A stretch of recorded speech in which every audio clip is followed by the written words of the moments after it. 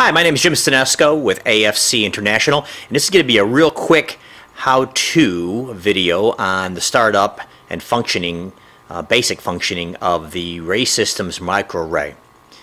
MicroRae has two buttons, as you can see here on the front. Sensors are up here, one, two, three, and four. It is a diffusion unit only, meaning there is no sample pump and there is no attachable motorized sample pump for it at this moment, at the time. So right now it's a personal monitor, and if you did want to do some monitoring down in the pit or down below grade in confined space, you're going to have to definitely use a rope and extend your reach or if you need to go upward, put on a pole and, and extend your reach that way. Um, but anyway, the diffusion sensors are right here, one, two, three, four, and they'll take care of it. It can be ordered in any different types of combinations uh, uh of one, two, three, and four. Uh, HCN is the fifth sensor that can be uh, ordered in, in place of H2S or CO. Um, so uh, you do have that option. So for the fire service, uh, LELO2, HCN, and carbon monoxide is a real good combination for the toxic twins. Okay, instrument has the two buttons that I mentioned. You have the uh, yes plus key and the on off key, and we know that as the mode key at Rae Systems. Horn is right here. So this is where you're going to hear that loud horn. So it is very, very ear piercing as you'll hear. Uh, to turn the unit on, you're going to hold and press the, the mode key or the on off key and hold it down. And as soon as you hear the horn and the lights go off, you can release and you can see it goes through a warm phase. And it's giving you a self-test screen and it counts down a little bit. It's like 8,000, 7,000, 6,000. Actually, it's counting up, I guess. But does give you some information. It says self-test passed, so it is checking diagnostics. Gives you the version of the firmware and the serial number of the instrument. It gives you the installed sensors. So it lets you know what sensors are installed. And then it will count down from right around 40 um, and it says warm up. At this point, you're just going to have to be patient and let it do its thing. While we're waiting for it to warm up, I'll show the back side. You will see an alligator clip, your traditional alligator clip for clipping onto your clothing or straps. You do have a D-ring right here. Um, you do have the approval warning label on the back side here and your charging contacts are down here below the instrument, at the bottom of the instrument. Okay, now um, just like traditional Rae Systems fashion, you can configure the instrument to give you a fresh air calibrate question right off the beginning. And it says fresh air cal, uh, air cal question mark. You don't have to have that programmed in but since this is my unit I like it that way. So at this point you should be asking yourself well am I in a fresh air environment? If the answer is yes and you feel confident that you are you can go ahead and say yes and hit the yes key. And I'm going to go ahead and do that at that point, it will count down from 30 and at the end of 30, it's going to zero all the sensors out and make the oxygen sensor 20.9. If, though, you have a situation where you're not sure of your background um, or you know it's bad, then you, you don't want to do that because if we zero out a positive number, the instrument certainly will do that.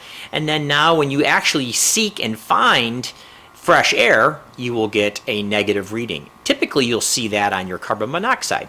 Carbon monoxide is very hard to detect. You don't know if there's carbon monoxide in the environment or not. You take a positive, you, you make it zero. Then when you go outside, fresh air or upwind from a vehicle, you all of a sudden will see a negative number. That's a good indication that you had zeroed in a contaminated area. Not a big deal, but when you see negatives, and again, most of the time you'll see it on the carbon monoxide sensor, that's probably what took place. You have a little bit of background carbon monoxide. Okay, after the fresh air, it says pass, pass, pass, pass on all the sensors. You're just going to hit the yes key to acknowledge that. Now at this point, you're ready to go. You're actually ready to go do some work. Now I'm going to go ahead and reach a pointer here so I can kind of show you a few things. On the instrument itself, you can hit the on-off key and it shows you the peaks. Peaks are the highest reading that the sensors have seen since it's been turned on. I hit it again, I'm going to see my minimums. Minimums are be basically for the oxygen. If we did drop this down into a pit, we couldn't see the instrument, we heard it go off, you bring it back up, The conditions come back to normal, you can hit that that button, the on off or mode key, and mode over to this minimum screen to see how low we went to. You hit the button again, short term exposure limits, or your STELs. Short term exposure limits at this point show dashes along the screen, and it's only for the, the toxic gas sensors, right? What's the definition of a, of a STEL? It's the highest 15 minute time period. Well, we haven't been on for 15 minutes. Once this unit goes for 15 minutes, those numbers or those dashes will turn into numbers. Time weighted average is the next screen. This is going to be your dose over time. As we wear this unit, it's going to basically give us some information as how much we've been exposed to over time, and that's going to be for the toxics once again. Hit the button again, you'll see May 18th, 2017. It's going to give you the date and time. Time is the next button. Button push. If you have a wireless equipped unit, you're going to see the ID, ID of the instrument. It's an alphanumeric ID specific for this instrument that can be changed through the software, and then a PAN ID. A PAN ID is another number that we use to differentiate different instruments on different networks or different work groups when we're using wireless. If I don't want to see other people's devices and another work group, I could change the PAN ID to a specific number just for my guys and not see the surrounding uh, other work crews that also have wireless units. Or I could actually keep it all the same if I was joining a MABAS, a mutual aid type setup with the fire department and I want to see other departments' gas meters coming to the an incident, then I could keep it all the same. The next screen, when I push the button, the uh, on-off button, is the uh, indicator of what the instrument is calibrated to, and the correction factor, more importantly, that the sensor, LEL sensor, is corrected to. And you can see it's set up for methane. This means our, our TechNote 156 correction factor is valid when we see methane and a correction factor of 1. CalGas is methane as well, so I can actually see what, what this instrument's been calibrated to. And then the last screen is your comms mode or com communications mode. It says communication mode question mark. At this point, I could say yes and actually hook this unit up through a cable that comes with it. It's a little USB cable, micro USB, and uh, use the software to drop the data logger or configure the instrument. When I hit one more time or just simply wait about 30 seconds, it will come back to the main screen. And the main screen again is your four gas readings. Carbon monoxide, LEL, H2S, and oxygen. Upper left hand corner is a battery icon. As it gets darker, or actually as it lightens up like a gas gauge, you can see how much of your battery is left over. Next to that is your Bluetooth symbol if your Bluetooth is enabled. You'll see a check mark next to the Bluetooth. That just tells me that all the criteria, in other words, that I programmed into the instrument, have been met.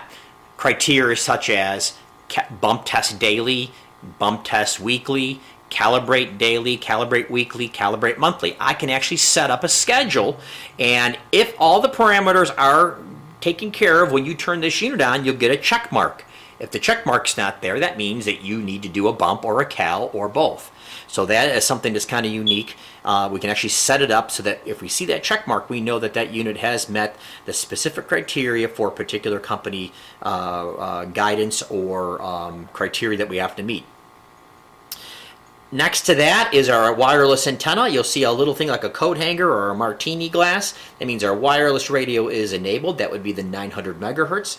And next to that is the GPS, a little satellite icon saying the GPS is actually working.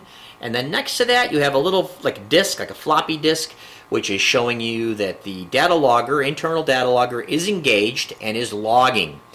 Um, it is a, set up as a wrapping around data logger, so as you're using the unit, eventually it will wrap around on itself. Now the default setting is uh, one minute intervals, so every minute it will put into data into the memory, um, all four gas sensors, and that will last up to about six months of continuous operation. So after about six months of continuous operation or using it, it will then wrap around and cut in on itself, kind of like a black box flight recorder on an airplane.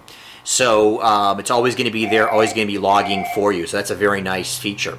other than that, it, it's really pretty simple. That's all there is to it. On off button, uh, yes plus key. Yes plus key is going to be used for making decisions. So if I go to the peak and I hit the yes key, it'll say clear peaks and minimums. I can hit that yes key to say yes, and those peaks and minimums are cleared. I can then scroll all the way around to the beginning and see my gas readings. To shut the unit off, you're going to push and hold the mode key or on off key. One, two, three, four, five, six, five, five, five beeps, and then it, you can release and it shuts off. So you don't accidentally just tap it and shut the unit off. It does go off.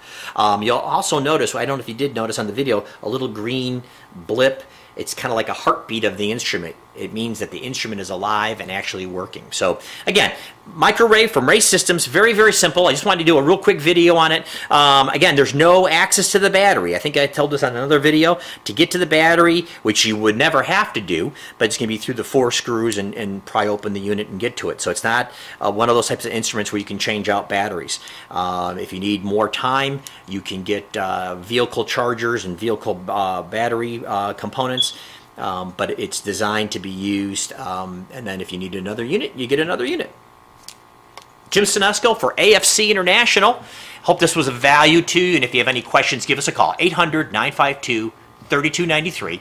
Um, and again, um, we're here to help you. And if you have any questions on this, you want a demo, you want to see it, you want to ask some questions, give us a call. Thanks a lot for watching. See you next time.